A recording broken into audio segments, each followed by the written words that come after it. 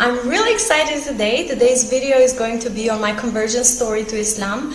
I know a lot of you guys have asked me to make this video and I've been wanting to do it for such a long time. I finally got the chance to just sit down and uh, record. I'd like to start by saying that I come from a non-religious family. Um, my parents do believe in God, but they don't believe in religion, and there's reasons for that. My grandparents uh, went through communism. My parents were born and grew up during uh, communism. My country was uh, one of the most isolated at the time, and religion was was banned by constitution. Basically, people um, have moved away from religion um, it doesn't mean that people are not spiritual. So that, that was the case in, in, my family. I grew up without any religious education whatsoever. We don't have religious uh, lessons um, in schools. So basically, I no no one ever spoke to me about God, what's going to happen to me when I die, or anything like that. However, I was very spiritual ever since I was a little girl. Um, I used to always ponder about life and uh, the purpose of my existence, why I am in this world, uh, what is going to happen to me after I die, why the world is so complex and who created it, what's the purpose of us being here. So I always had these thoughts in my mind, and I, I used to meditate um, a lot. Ever since I was very little, I used to go out in the garden and just like what look at the stars at night and just think, who created these stars? Like it's just such a perfect creation. When I was about nine years old, I started going to church. Now nobody in my family went to church. And uh, my father really didn't like that. He used to tell me all the time, How can you believe that God has a son? He just did not like that. He's like, God is independent and God needs no son. However, I was, I was a really stubborn girl and um, I always wanted I was very curious. I wanted to learn things. I wanted to know things. So I kept going there. And my parents never um, stopped me from doing that because they raised me um, to be independent and to make decisions for myself. So basically, my father would show me what is wrong and what is right, and then let me make a decision. Um, so I kept going to church. I used to go two to three times a week. I used to even teach Bible to the little kids, and I really loved it. I loved the people at church. But then there was always a void in my heart. Like, I could not explain it. Like, why? Why I have this religion, I'm reading the Bible, but there are still things that I, I keep wondering about and I can't find answers to. Um, and then later on, I moved to the States and um, there I continued going to church. Before that, I tried different churches. I was, um, I went to Orthodox church, to a Protestant church. Um, in the States then, I tried different churches as well. And um, I used to do that every week. However, I had a lot of questions I couldn't find the answers to. For example, the Trinity, I couldn't wrap my head around that. I couldn't understand it. How does it work? And every time I try to ask, ask questions, the answers are not satisfying. People are just like, oh, well, that's the way it is, right? You just believe in it. Um, however, for me to believe something, I it needs to make sense to me. It has to be to make logical sense and it has to be something rational. Anyways, I went to the States, made friends from all over the world and um, I used to go to parties with them and I'm seeing all these college kids, they're drinking and they're smoking, all kinds of crazy things. And I felt really, really uncomfortable. Every time they would offer me a drink, I'd be like, no, I don't want it. Well, why don't you want it? Don't you want to have fun?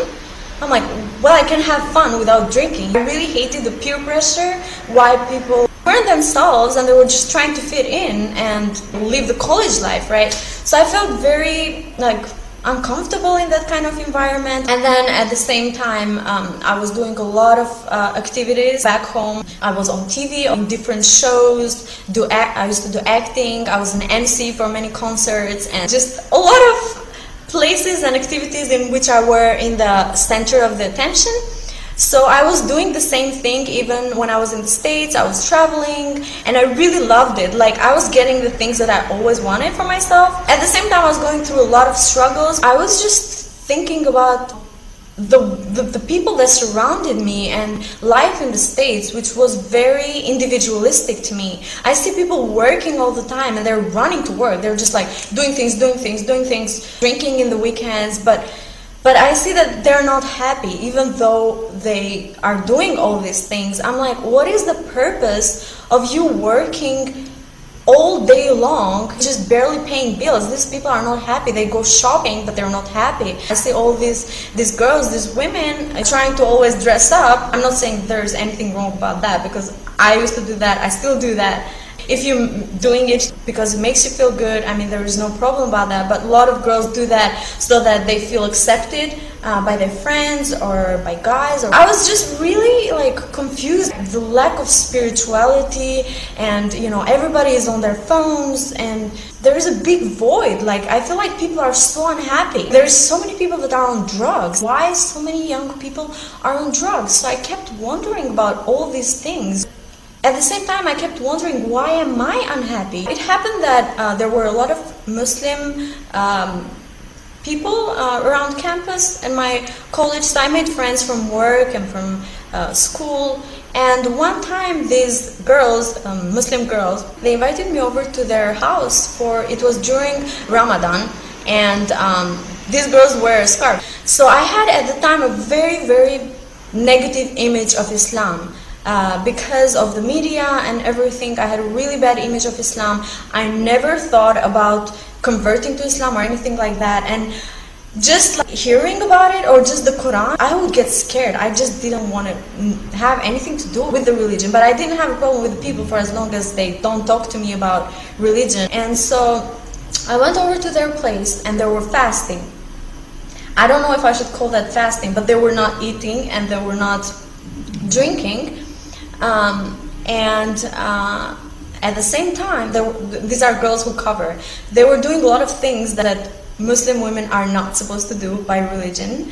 I was really shocked because I had a completely different image of Muslim women. I thought they were conservative and I was just so shocked. Like I'm like, why are these women doing these things? Like, is this how Muslim women actually are? So I just go home and uh, I wanted, that's like the first part. I wanted to know what Islam is all about, what these women are all about, because I hear in the media that they're very conservative and they, I went home and I researched it and I was like, this is so much hypocrisy that I couldn't even swallow it. And that's how I got exposed to Islam. I did not know at the time that all it takes for someone to be a Muslim or to be called a Muslim is for them to declare that there is no God but God and uh, Muhammad, um, peace be upon him, is his prophet. Believe in the in the angels and the holy books. Um, but I didn't know that there are a lot of Muslim people who do things that um, are completely against religion. And then um, I went back home for an internship. I was wondering how I can grow spiritually and how I can become a better person, how I can understand this world, and um, how I can find answers to all these questions I have, how I can fill this void I have in my heart. And I figured the only way I could do that was to humble myself, to open my mind and open myself to new ideas and new experiences. Um, I started because I was interested, I got interested in Islam, I started watching videos and my mom started freaking out and her reaction was really not good. So I kind of had to hide that. I was really confused during that time. Then in September, school started again, so I went back to the States. I was taking a class on um, different world religions, so I was learning about different ideologies, theologies. I then searched um, Islam and what does it mean, and it means a voluntary submission to God it's not just a submission, it's a voluntary submission to God.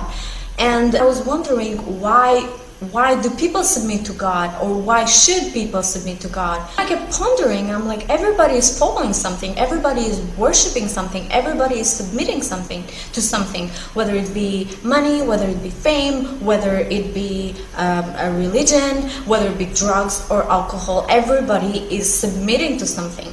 So I said, then why not submit to something that is worth submitting to?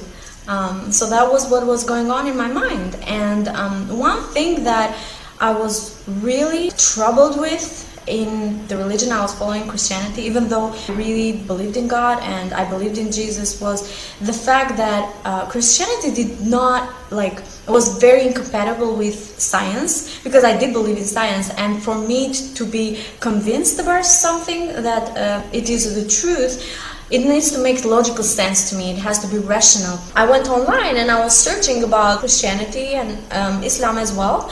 And then I was just blown away because I found verses of the Quran um, that were obviously revealed 1400 years ago and one that later proved um, in the 19th century. And I was, wow, this is mind blowing to me. I went and I researched Quran. It was the first, the very first time that I wanted to play Quran.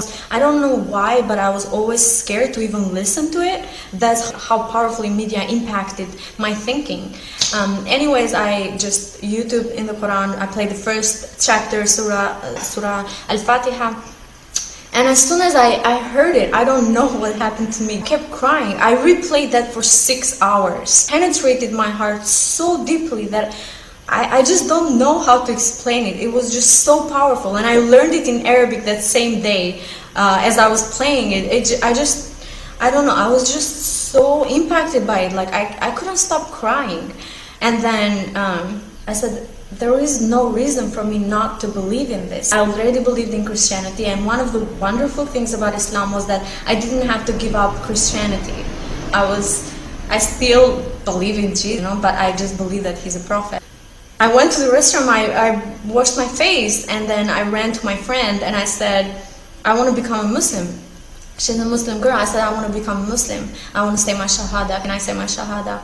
That was like the most wonderful thing that ever happened to me. And um, then after that has been a really long journey, a beautiful journey, but at the same time very challenging. It's not easy to be a Muslim convert in the living in the West, but that's a completely different story. Perhaps I will share with you another time. I hope you really like this video and enjoy